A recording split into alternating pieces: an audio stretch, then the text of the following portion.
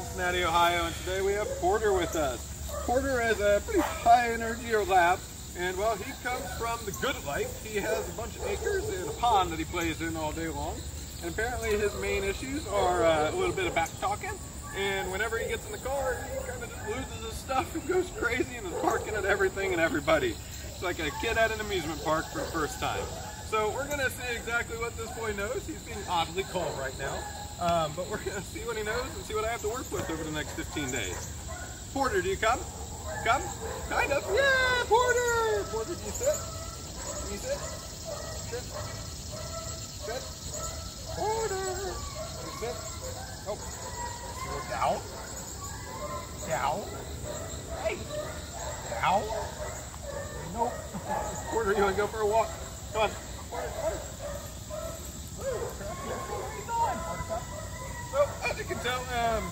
kind of indifferent at the moment. Dad said this is the very first time he's ever been on a leash, so I think Porter's just confused as to why he's tethered to something and not able to run free. So, oh, yeah, he's just going to eat it. Oh. So why don't you check back here in 15 days and see Porter's amazing transformation. Good oh, boy, yeah, Porter.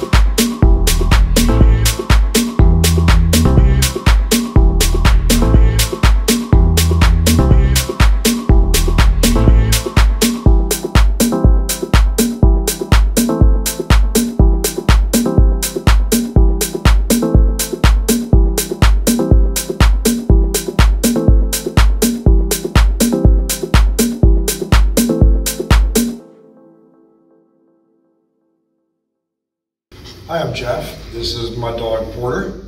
He's two years old and uh, he's been trained by Ezra and Quentin and Maddie. And I'll tell you, he's awesome dog. He can finally ride in a car with me without going berserk and barking and yelling to the point where we can't ride him anymore.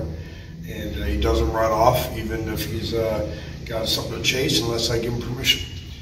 And I would recommend Bulletproof to anybody who uh, wants to train their dog.